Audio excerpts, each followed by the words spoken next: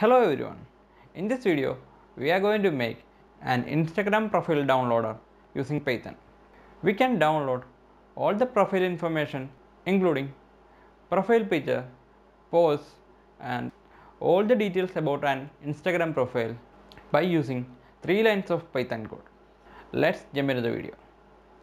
You need Python installed in your PC. So if you don't have the Python installed in your PC, you have to download Python from python.org. And I am using the PyCharm IDE for Python development. So you can download the PyCharm IDE if you don't have already. Now I open the code editor and click new project. You can name it whatever you want. I am going to name it as Insta and click create.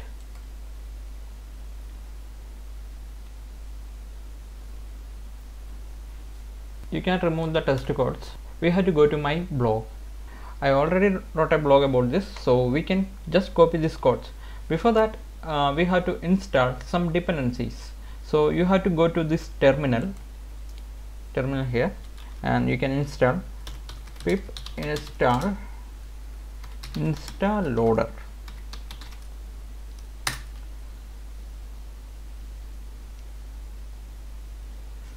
okay once you installed you have to you can copy the code from my blog paste it into your code editor.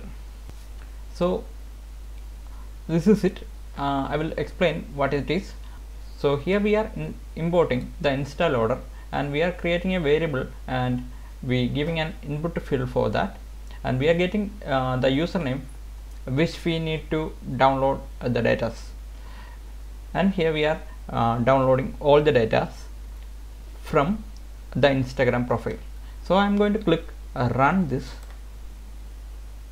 and I have to enter a username. So here I'm going to enter this username, the Codeconia uh, profile. So we don't have a lot of things to download, but everything will be downloaded.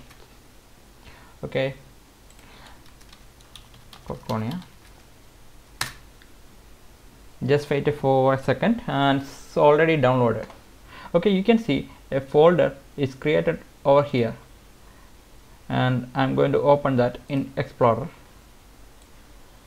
So here I will here I can see my profile picture and my one of my post. I mean I only have one post over here. And and its uh, description. Everything is already downloaded. So you can try uh, any of other Instagram username and you can download all their data by simply using these three lines of code. And I will give the blog URL in the first comment and the video description so you can take it as a reference. Hope you like this video. And if you are interested to watch more videos like this please make sure to subscribe to this channel.